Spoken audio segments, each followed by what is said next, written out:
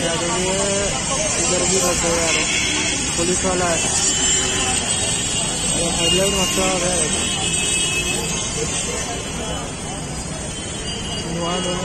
जगह है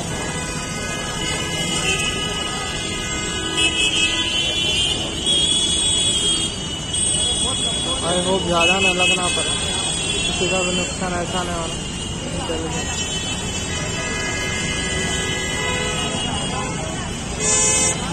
आए हैं। और लग रहा है और लग रहा है अभी।